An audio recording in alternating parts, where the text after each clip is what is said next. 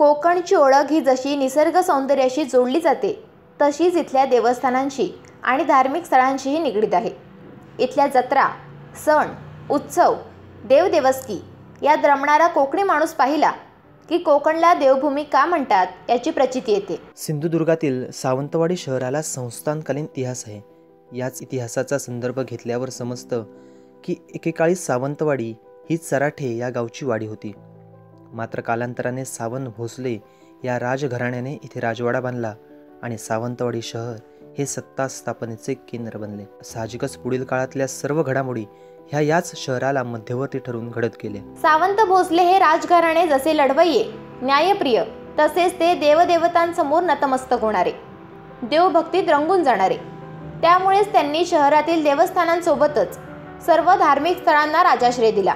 सावंतवाडी शहर भ्रमंतीकरिता आलेल्यांसाठी पाटेकर आत्मेश्वर या मंदिरांच्या इतिहासासोबतच सावंतवाडी आंबोली या मार्गावरील आणि शहरालगतच अवघ्या दीड किलोमीटर अंतरावर स्थित असलेले उपरलकर हे देवस्थानही इतिहासप्रेमी आणि पर्यटकांना आकर्षित करते. सावंतवाडी शहराचा इतिहास वाचत असताना असे लक्षात येते की सावंतवाडी वसविण्याच्या वेळी उपरलकर हे देवस्थान सीमारक्षक म्हणून त्यावेळी स्थापन करण्यात आले.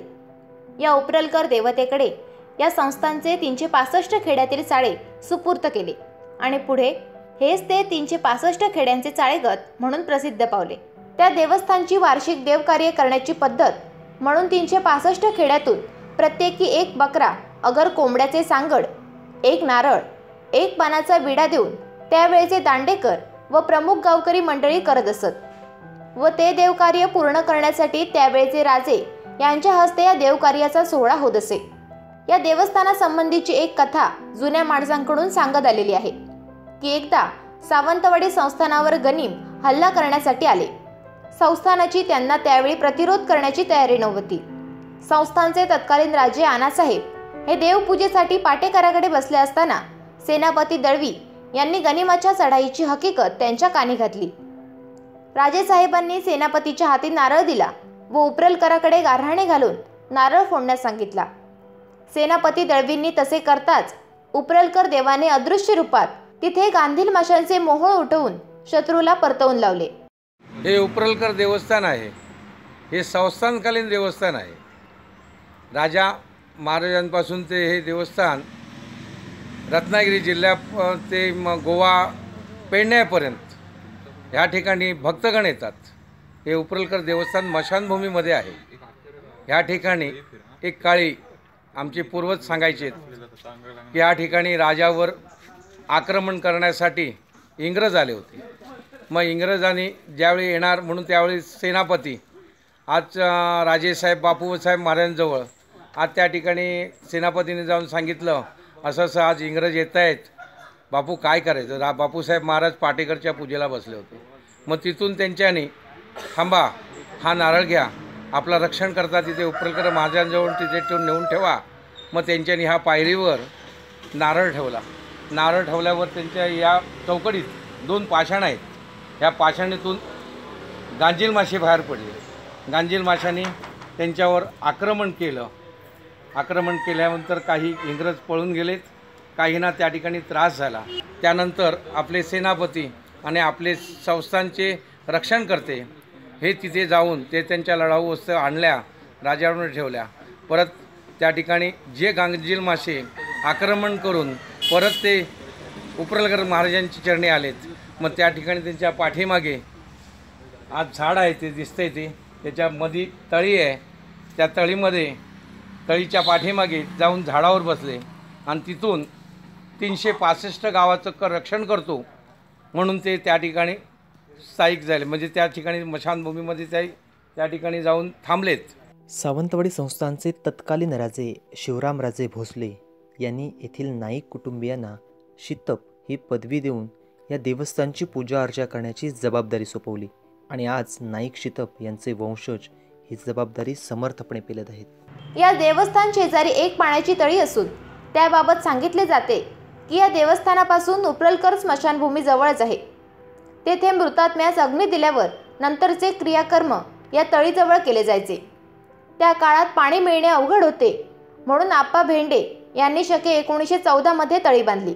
संस्थांचं जागृत देवस्थान आहे याला उपरलकर देवस्थान असं म्हणतात. हे माझ्या पाठीमागे जे झाड आहे तिथं त्याचं मूळ स्वरूप आहे. आणि ही जी माझ्या पुढे जी बांधकाम केलेली आहे ही पूर्वापार तळी असून त्या ठिकाणी ह्या उपरलकर जाळ्याचं वास्तव्य असतं. आणि लोकांची जी काय मनोकामना अस- असते जे काय लोकांना क्लेश झा- होतात किंवा जे काय त्रास उद्भवतात हे त्याच्या पुढ्यात सांगणं सांगण्यात दिल्यानंतर हे गावकर लोक जे आहेत ते सांगण्यात देतात आणि ते सांगण्यात दिल्यानंतर त्याची पूर्तता होते. आणि हे असं हे जागृत संस्था तीन चारशे वर्षापासून पूर्वीपासूनचं हे देवस्थान आहे. या देवस्थानासमोर सावंतवाडी शहरासह आजूबाजूच्या गावातील भाविक नतमस्तक होतात. श्रीदेव उप्रलकर देवस्थानची आख्यायिका जेवढी मोठी आहे त्यापेक्षाही हाकेला किंवा प्रसंगाला अदृश्य स्थितीत सहकार्य करणारा देव म्हणून या स्थानाची ओळख आहे. माझं नाव विनायक गुंडू चव्हाण आहे. मी सावंतवाडी स्थितच आहे. आई वडील दोघे शिक्षक आहेत. लहानपणापासून आम्ही इथे येतो. इथे कुठल्याही प्रकारचं वाईट केलेलं होत नाही. ते पूर्णपणे सत्याला जाग आहे. देवस्थान जागृत आहे. आता सांगितल्याप्रमाणे शीतप काकांनी तीनशे पासष्ट गावांचा तो अधिपती आहे. जे काही क्लेश अडीअडचणी असतील तुम्हाला ते पूर्णपणे इथे म्हणजे तो आपल्या पायाशी घेऊन तुम्हाला सदैव पाठीशी राहतो. हे माझे आलेले स्वतःचे अनुभव आहेत ते मी तुम्हाला आता सांगत आहे. माझं नाव शुभम विद्याधर नाईक शितप मी राहणारा खासकेलवाड्यातला. आज वडिलांनी सांगितल्याप्रमाणे जी काय माहिती होती ती तुम्ही मला पहिलीच सांगितलेली आहे.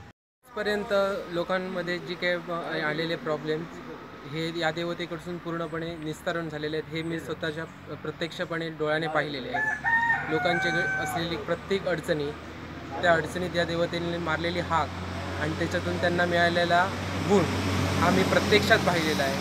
त्यामुळे या देवतेची म जी एकता आहे ती आणखीन माझ्या मनामध्ये जिटून त्या देवतेची सेवा अर्चना करावी ही माझ्या मनात इच्छुक इच्छित घेऊन ते मी आजपर्यंत सहकार्य करतो आहे आज वा- वाडवडिलांच्या इच्छे पूर्वजांपासून जी काय आज गारणी आली केली गेली ती आज ती मी ही आत्मसात करून ती आज ते पुढे पारंपरिक पद्धतीने ती पुढे चालवतो आहे लोकांमध्ये जे असणारे प्रत्येक प्रॉब्लेम हे मी जा जाणीवपूर्वक ते पाहिलेले आहे.